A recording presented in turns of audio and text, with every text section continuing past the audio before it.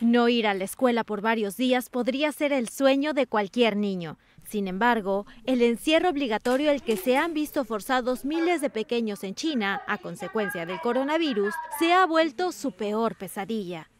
sin poder jugar en el parque con sus amigos y mucho menos ir a clases, así han tenido que pasar poco más de un mes los cerca de 300 millones de niños en China desde que el pasado 27 de enero el Ministerio de Educación ordenó aplazar indefinidamente el comienzo de las actividades en guarderías, colegios y todo tipo de centros educativos del país, los niños se han visto confinados junto a sus padres a las cuatro paredes de su vivienda, una situación que los tiene verdaderamente cansados. El gobierno chino anunció que las clases a través de Internet en los colegios públicos comenzarían esta semana en todo el país, aunque hasta el miércoles aún no habían empezado en varios centros.